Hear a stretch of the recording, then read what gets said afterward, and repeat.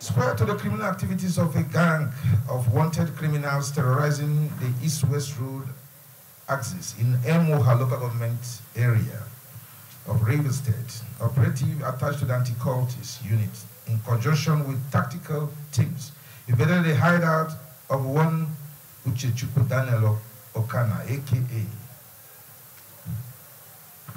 Horn Man at Obele in Emohua government area.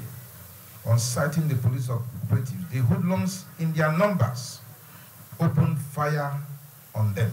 A quick response by the operative neutralized and dislodged the, mis the miscreants as they scampered for safety and bowed to the superior fire, neutralizing six of them and arresting six.